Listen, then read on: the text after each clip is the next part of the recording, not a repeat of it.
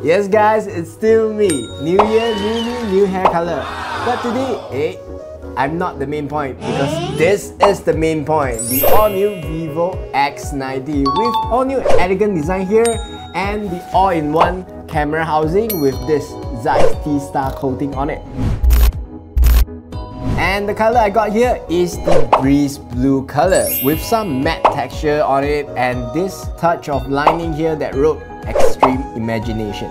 And thumbs up to the design for this Vivo X90. And also the darkened camera housing here not just hides out the lenses but also made it feels more tidy and elegant. Now speaking about cameras, it has a 50 megapixel main camera, 12 megapixel ultra wide, 12 megapixel portrait lens and a 32 megapixel selfie camera. '"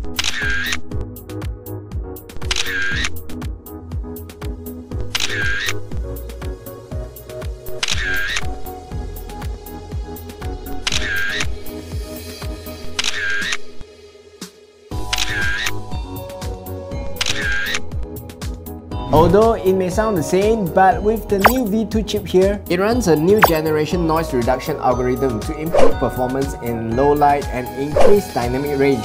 So when you're capturing against light or during the night, it resulted quite well. The colors are sharp and the amount of details are there too.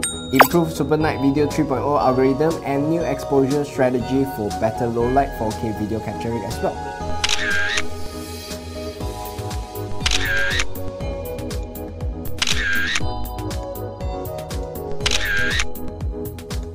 6.78-inch Ultra Vision Eye Protection 3D Curve display, support up to 120Hz refresh rate, HDR10+, SGS low motion blur, and with the aid of Q9 display materials, it reduces blue light and can be dimmed up to 2160Hz of PWM. MediaTek Dimensity 9200 5G chipset up to 12GB of RAM and 256GB of storage. 4810 mAh battery with up to 120W dual cell flash charge and 50W wireless flash charge. X-axis linear motor, dual stereo speakers, triple microphone, ultra-large vapor chamber liquid cooling system.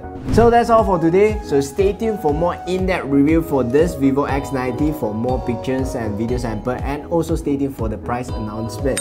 And let us know what you think about this phone in the comments below. I'm Joshua C. I'll see you guys in the next video. Go! Hey, Fatai!